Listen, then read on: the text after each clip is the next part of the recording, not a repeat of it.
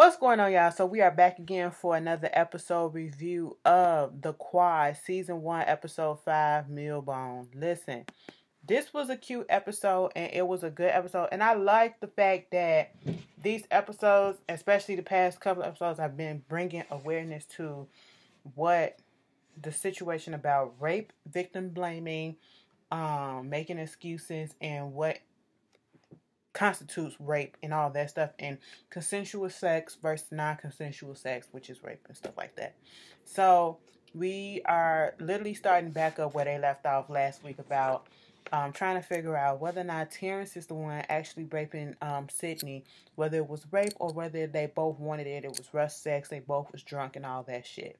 So we see Sydney is sitting down there telling her version of the story, and we see Terrence telling his version of the story.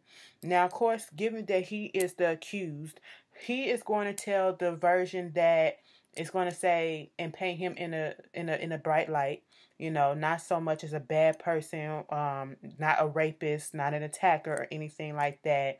They met at the Sigma party after um, the game, and Sydney saw Miles. Miles was the one where she was playing poker with the first time she got drunk and um, almost had uh, blood poison, alcohol poisoning, or whatever. You know, him. And he was trying to tell her, you need to chill out because you almost got us in trouble. You need to figure out what's going on with you and why you doing the shit that you doing. And um, she was like, "What you trying to be my daddy now, nigga? Please." And next thing you know, they start kissing. But we see the way that they building it up to make it seem as though, um, because of her, um, reputation, like we already saw that she has no problem getting with who she wants to get with and they setting it up like to make it i guess for his side make it justifiable. Like oh she just a pass around anyway. She gonna have sex with whoever she want to. You know we remember the guy who had the baby dress in his head that was starting locks and all that stuff, who was trying to hit on her and like the like a couple of episodes before, you know, and we see his take on it when they had their little group circle and how he feels about it. And I say he only felt that way was saying all that shit about her because she didn't give him no play. Okay, because she's showing up passed him up. So now his ego is bruised and he just bitter and now he's gonna call her all type of hoes and sluts and everything you know, and it's very unfortunate because this stuff goes on. Um, Terrence was basically saying that they both, she wasn't drunk, she probably was just tipsy. Uh, at first he said he didn't know if she was there, but then he said that she was there. And I'm sitting here like, first you said he she wasn't there, so you know how can you give us this whole story about you know she was there? Because he was the the coach was like, go ahead and tell the truth, okay? Well, he gave his version of the truth minus some facts, okay, and glossied it up. So he basically said that they had rough sex. They was having sex, drunken sex up in that um thing, and she pushed him down. On his version, she pushed him down and was the aggressor a little bit. You know, her version is she was drinking. She lied to her mom and said that she wasn't drinking, but she was drinking, and her mom was like, "I thought I said you weren't gonna drink," and she was like, "Not today, mom. Okay, let's we're not gonna do this right now." But when all that happened, you see Terrence just saying, you know, she wanted it, it was consensual, you know, all this stuff and uh she was okay to walk back by herself and all this and blah blah blah. But then when you see Sydney, she was just, you know, in so much pain from it, you know, and I know people can act, but I just don't feel like she was lying about the whole thing. And it's not me being a woman or anything. I just you know, rape is a touchy subject that a lot of people throw out, and a lot of people are scared to come out and say it happens because of the fact that you know they fear that people aren't going to believe them especially if it's someone popular someone of importance someone bigger someone scary or whatever you know people might not believe you people will victim shame and victim blame and all that stuff which we have seen when certain some people have came out against certain people in our own music industry, entertainment industry as a whole, and said that they've been sexually assaulted or did something to, and all of a sudden it's like, why you wait so late? And you know, she got to be lying because she waited so late. She wanted it. She just wants some money from this person. She this, she that. She that's just trying to bring a black man down. And that's exactly why people don't want to say nothing because either they get swept under the rug or they get victim blame, you know, because people don't know how to go look up and what uh, the issues and the things that comes along with rape and the trauma that comes along with it and why people hold on to it and, and, and, the pain that they feel while they holding on to this secret because even though it's causing them pain they're scared to come out and say something because they fear that you know it won't matter because nothing will be done about it all right and so when Sydney was telling her story, it was just fucked up. You know, we can tell that she didn't want it. She was clearly out of her mind. She was drunk as fuck. I don't know if she was um roofied or whatever, but it, it was not consensual, okay? So Ava thing is she's trying to get charges pulled up against old boy and want Terrence to get out. All right, wants him to get out of the school, want him to be arrested.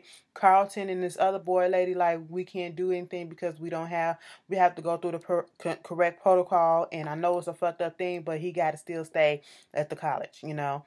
And of course, they have this little um, because there was this conference, this press conference talking about the football team. Because all of a sudden now the football team is doing good.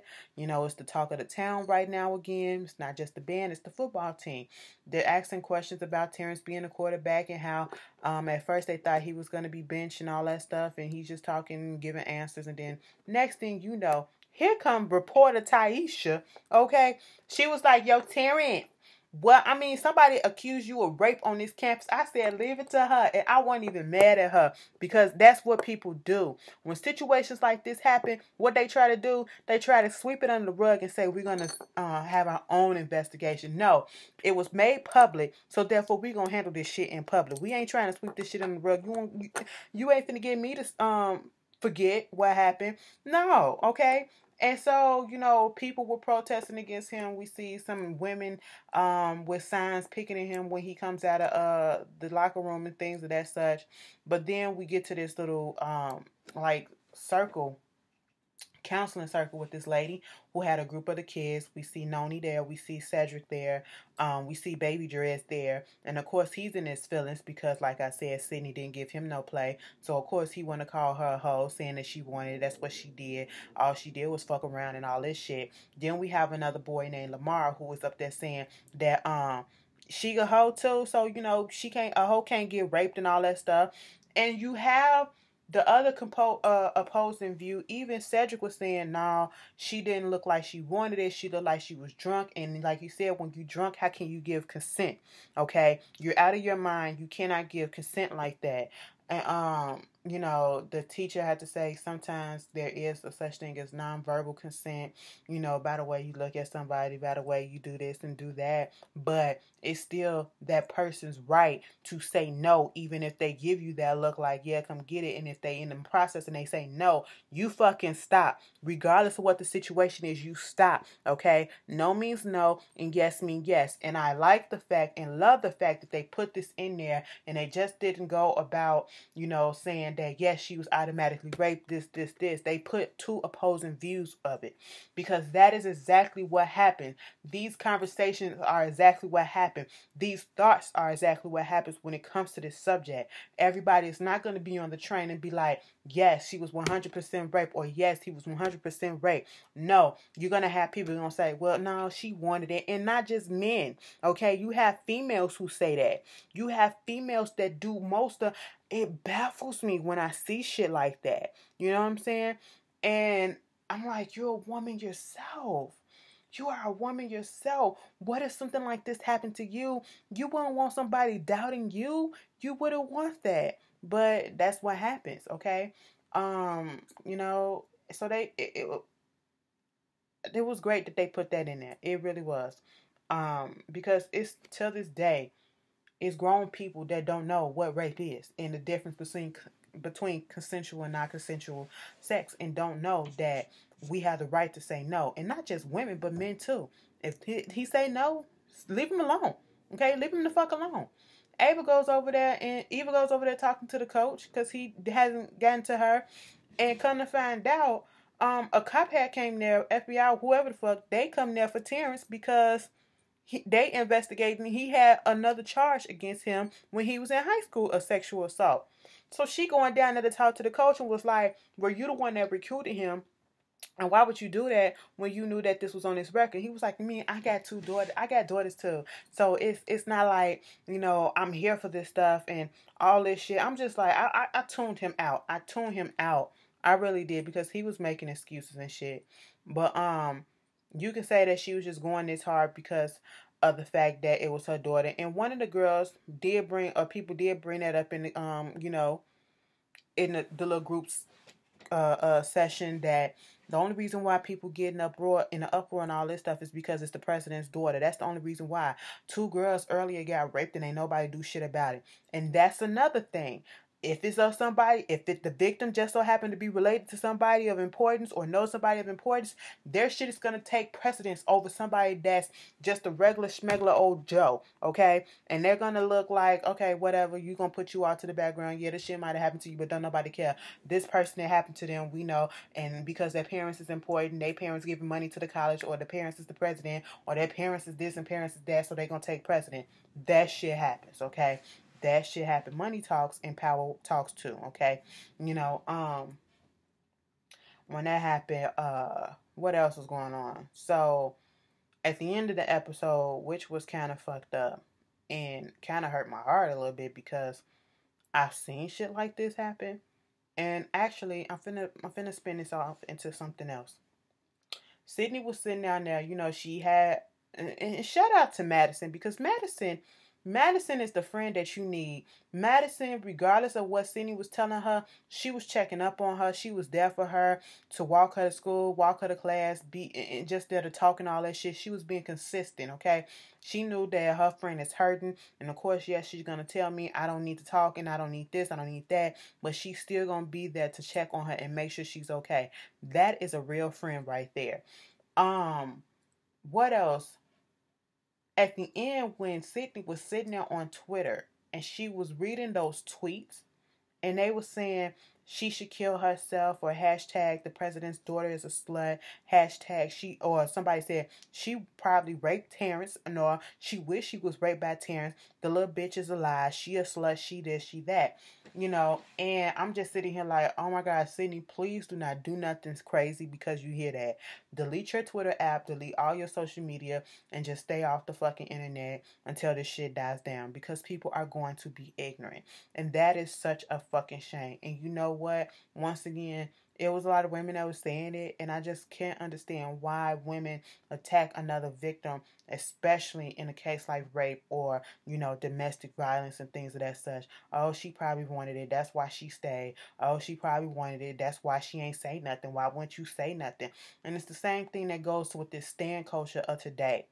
Case in point the shit that happened with Chris Brown and Karrueche, with Karrueche coming out saying that yeah, he attacked me, um, he got physical with me, and um, he's stalking me, he's doing all this stuff. Well, why she wait all this time, and why she do this, and why she do that? Y'all love defending people that behavior clearly shows you what the fuck is going on. Okay. Y'all love victim blaming. Okay. Instead of just looking at the actual things. Okay. And putting aside that, yeah, maybe this can't happen because he has been acting a little crazy or whatever. But I'm not going to outrightly say that, nah, the bitch can be lying. Okay. Because that's fucked up that is fucked up because my whole thing is you wouldn't want somebody saying that to you about you if you came out and said some nigga put his hands on you or some nigga raped your ass, okay?